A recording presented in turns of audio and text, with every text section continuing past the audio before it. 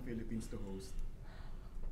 I think we're ready to host Miss World here in the Philippines, but I think it's a matter of timing also.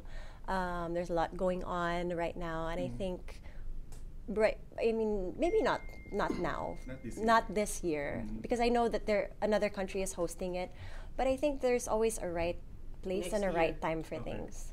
We'll see, we'll see. I mean, it's also like may mga invest investors ba na magdadala dito? Mhm. Kasi syempre hindi naman po pwedeng government Mhm. yun because the government also has expenses for other Okay. things. Okay. So we'll see. We'll see.